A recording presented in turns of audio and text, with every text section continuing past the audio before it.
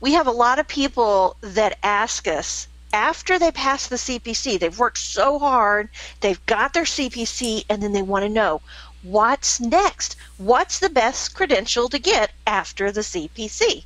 So let's go through a thought process of what you want to talk to yourself about if you want to get a credential after the CPC.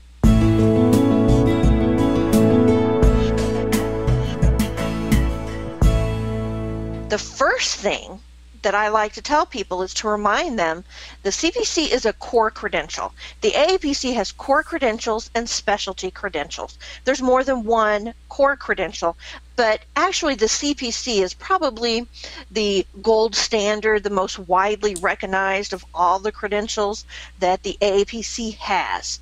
You'll find people that are CPCs doing all types of coding work. Um, outpatient, inpatient, and specialties because it's a core credential. All right, so it's a great place to start if you're not sure where to start. We usually advise people to start there. Now that you've got your CPC, you're telling yourself that was excellent, I'm so proud of myself, now I want to move on. Ask yourself these three questions What area in the CPC training really tripped my trigger? You know, was there a particular area that you really enjoy? Also, what's the financial responsibility of being multi credentialed? Now, when you look at me, I have three credentials, but you go and you look at Chandra, who has 17 now, I think, working towards 20. Uh, you know, you have to pay for CEUs. And so it's something to consider, right? Uh, what credential is marketable in your area? Okay, that's something very important. So let's start with the first question. You took your training or you've been coding for a while. What's something that you really enjoy doing? Is it like me, ICD 10? You know, everybody knows I love ICD 10. Or is it like Laureen, CPT? She has so much experience in CPT. Maybe it's a specific body system. Maybe you really liked cardiology or you really liked orthopedics then there's a uh, avenue uh, that you can go for a specialty credential in that area. What if you think, you know, I really did like the coding, but the concept of the payment methodologies, I really enjoyed that, and I have a, you know, um, uh, uh, a brain for numbers, you know, uh, so I, I enjoyed that kind of the behind the scenes, the the power players in coding, not necessarily the coding, and um, the the how that uh, is translated into money, then there's a path for you in that area. So kind of identify what your interest is. Now, as we move on, let's look at the second question. What's the financial responsibility of being multi-credentialed? Now, I took the information from the AAPC, but let's back up for a second. The AAPC is who we predominantly deal with. Um, uh, most of us have our credentials through the AAPC. There are other uh, there are other uh, organizations, uh, AHIMA being one of them, but there's uh, billing organizations and uh, one for compliance. Uh, the two big power players, though, are the AAPC and AHIMA. If you choose to get uh, credentialed with two separate organizations, financially, remember that you will be paying dues every year into both organizations. All right. And as it stands now, I think the AAPC is like 125 every year, and I'm not sure what a AHIMA's is. Uh, but it's comparable, I'm sure. So that's something to consider, all right? Um, but know that a lot of times when you're working, uh, your employer will pay for that for you. And they'll often pay for CEUs as well. Not always, but uh, you might consider asking if you have never done that before and you're working. You know, will you pay for my membership? Will you pay for my CEUs? And by the way, will you pay for me to go to conference? Oh, no, you might push, be pushing it there. Um, okay, so with the AAPC, let's look at them. If you have one certification, your CPC, every two years you're going to need to get CEUs. The uh, first two years you need 36 CEUs. Now, uh, if you're a brand new CPC, and you're in that first um, that first two year window. Sometimes it's prorated depending on um, when you got certified. I think when I first got certified, I only needed 27, and I thought, oh, what happened? It's because I came in at an odd time of the year. I uh, was certified in October. So um, uh, 36 CEUs. If you have two certifications, it would be 40 CEUs, not that much more. And three is 44, four is 48. And then they did a brilliant thing here about a year or so ago, and they capped it at five. And with five now, if you have five or more, like Chandra, um, you get 52 CEUs every two years, which actually is very doable. You know, uh, don't let that number intimidate you. So I kind of did some research. There's a lot of places to get free CEUs. We offer free CEUs, um, and then uh, we uh, have this webinar, which is a uh, 1.5 CEUs. And if you're certified, we only charge five dollars. I mean, that's really unheard of. Uh, but there's other avenues to get free CEUs on an average, I would say that a CEU, one CEU, would be anywhere from 30 to $100 per CEU, depending on where you're getting it or if it's a specialty. Okay, you can go to workshops where um, the AAPC has a lot of work specialty workshops. You get six CEUs, and I think it's like $189. You know, so that you know kind of gives gives you an idea. If you go to conference, all of those CEUs, of course you're paying to go to conference, but those CEUs are also technically free and you can get quite a few. If you go to conference every year, that pretty well knocks out the CEUs that you need. So again, lots of places to get free CEUs. Don't let that intimidate you, but be aware that that is an ongoing thing that is a financial responsibility to maintain your certification. Last, let's talk about keeping yourself marketable. Now, you have your CPC, that's very marketable. As I said before, it's very, it's widely recognized. But think to yourself, what's my past experience? We have lots of students who are um, nurses, LPNs, a lot of RNs. We have transcriptionists. We have people who were billers or working in the front office um, and have that skill set that Joanne was just talking about, where all the ro- roles of the person in the front, you know, that they uh, have to be really good at, or it messes you up uh, in uh, getting paid, getting your reimbursement. If you have that experience, that could sway you into your next credential. So uh, again, think about what your past experience is. If you um, uh, can identify something that would be very beneficial to a specific credential, that may be the one you want to pick up next. Then think about where you live. Is there several medical facilities? Now, I'm in Rochester, Minnesota right now. I can walk to the Mayo Clinic. Me, my little pudgy body, is it's only like a block and a half. Uh, so you know, it's like the mecca of medical facilities right outside my door. That means if you have something like that, that means you are wide open to uh, credentials that would be beneficial to your area or marketable. But if you're in an area that has maybe only one hospital, or what if you don't have? What if you're relatively rural? Then that could make a decision uh, for you right there on what credential to pursue next. Right. Is there a preferred credential in your area?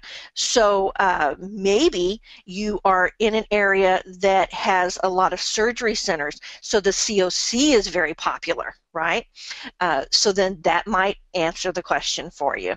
And last, ask yourself, are you willing or do you have the desire to work remote? Uh, a lot more now in the last few years has remote coding uh, kind of blossomed come uh, into its own compared to even five years ago you know so um, coders who are new we used to say well you're really going to you know you're not going to get to work remote until you have at least a couple years under your belt. They're not doing that anymore. There's opportunities available to newer coders working remote. Is it because technology caught up with you know uh, coding or is it just the, there's demand? So again ask yourself that. That may lead you into another credential. So i've taken i've taken the the five probably uh, most popular or uh, most, in my opinion, desirable credentials after the CPC that are pretty much core credentials, not specialties, because mind you, there is a lot of specialties. But the next really marketable and valuable credential that you want to consider in a career path. The first is my favorite, of course, so I put it first. I made the slide. I can do whatever I want. Uh, CRC. That is really heavy in diagnosis coding, the disease process. If you enjoy that like me, uh, then this is an excellent next credential.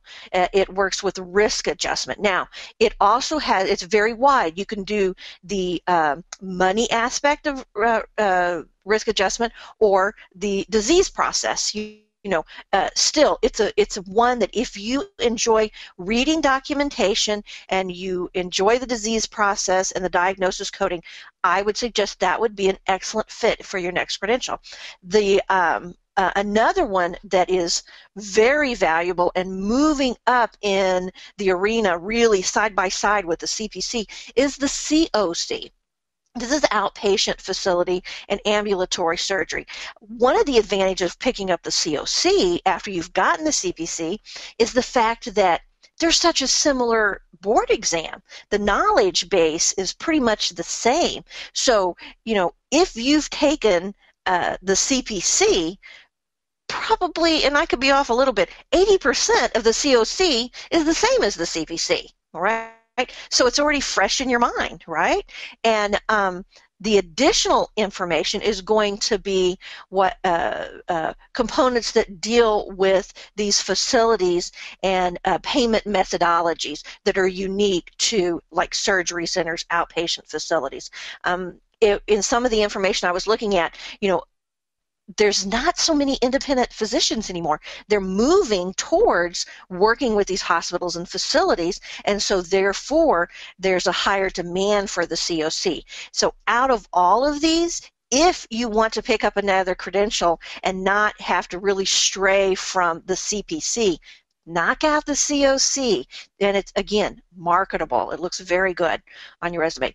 Next, I would say if you enjoy that billing aspect if what Joanne was talking about just a few moments ago uh, really resonated with you, then uh, the CPB, being a billing specialist, is ideal. Very high demand.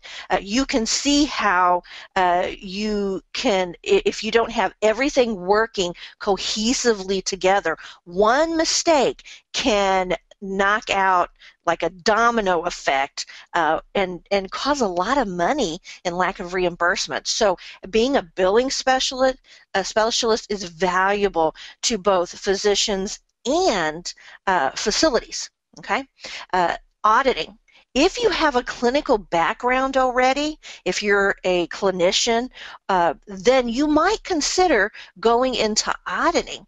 They want you to have that core credential, the CPC, but go on and get your CPMA because technically they want RNs um, to audit right?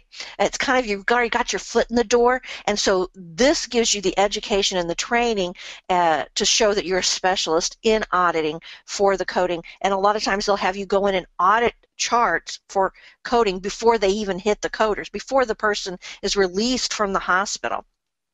Last, I would say, uh, is the CIC. And now, mind you, it's not last in choices, it's just the last one that I put up here. Uh, inpatient is fascinating. It's, lot, it's diagnosis coding, but not just ICD uh, 10CM, but PCS as well. And uh, the disease process, again, plays a big role. But there's a lot of information you need to know about the payment methodologies.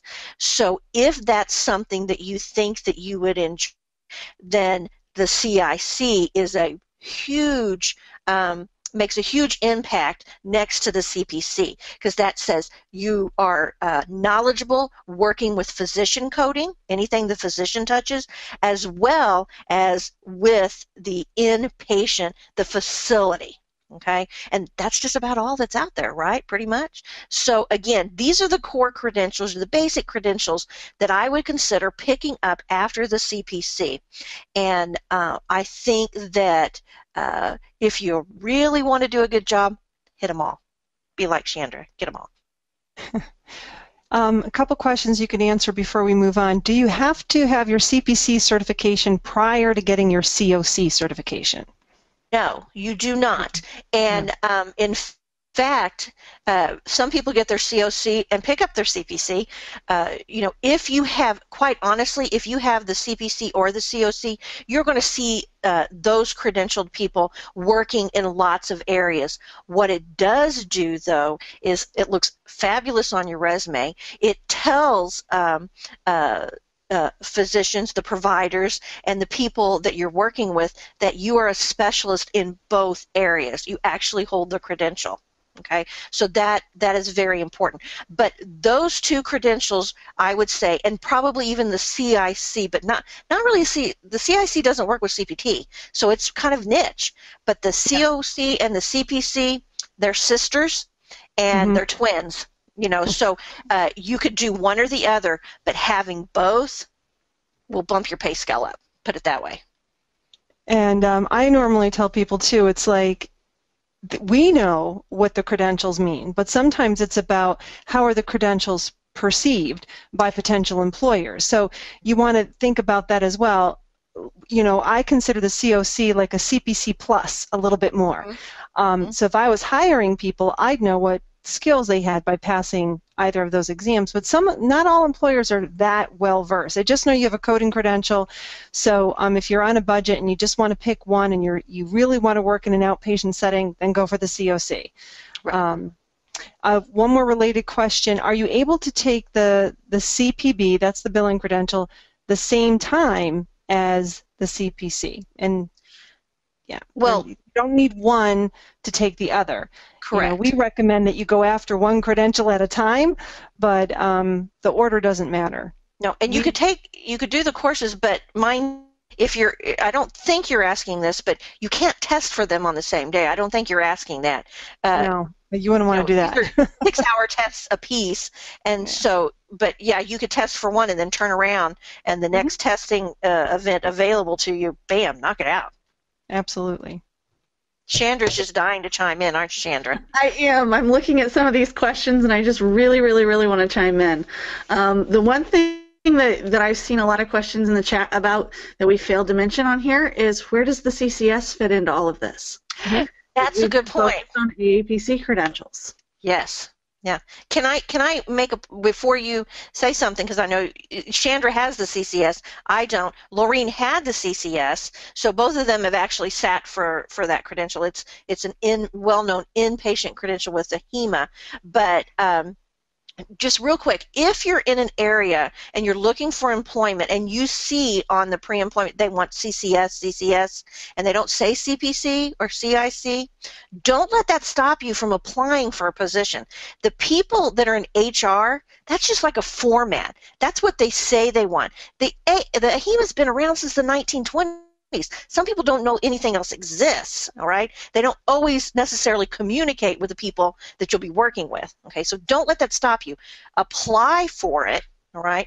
And then um, ask, you know, and, and maybe they do want a CCS, but uh, don't let that stop you. Uh, but Chandra, I think, wants to say more about the CCS. Good credential. It's, it's a great credential. Um, the CCS is through AHIMA. Everything else that we've talked about here has been through AAPC.